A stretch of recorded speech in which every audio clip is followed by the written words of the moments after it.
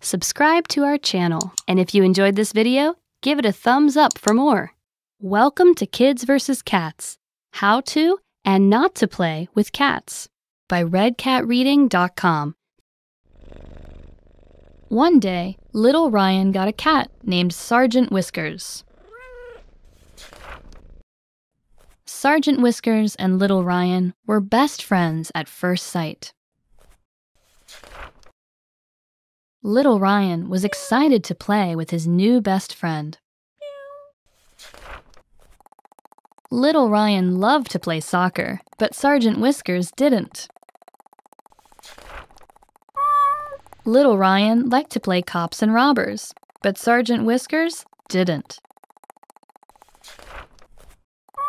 Little Ryan loved to play catch, but Sergeant Whiskers couldn't. Little Ryan liked to play safari hunt, but Sergeant Whiskers didn't. Sergeant Whiskers didn't want to play with Little Ryan anymore. So one day, Sergeant Whiskers went away. Little Ryan didn't understand and started to cry.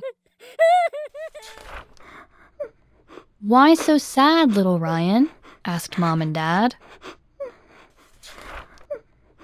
Little Ryan told them about the games he tried to play with Sergeant Whiskers. Cats don't play that way, little Ryan. Sergeant Whiskers likes games like these. Leaping games where cats jump in the air, chasing feathers you shake. Hide and seek games where cats wait and spy for something to go by. Bouncy Pouncy games where cats jump and paw at the things moving under the covers.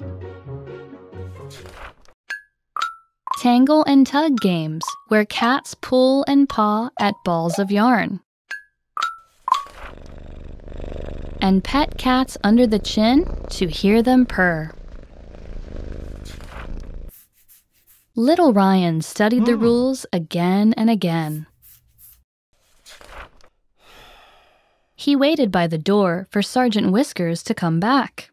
And Sergeant Whiskers came back the very next day. Little Ryan was so happy. Little Ryan said sorry to Sergeant Whiskers.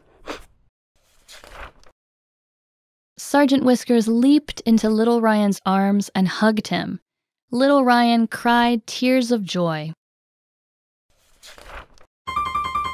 Sergeant Whiskers has fun playing his favorite games with Little Ryan. Sergeant Whiskers and Little Ryan are best friends forever. The end.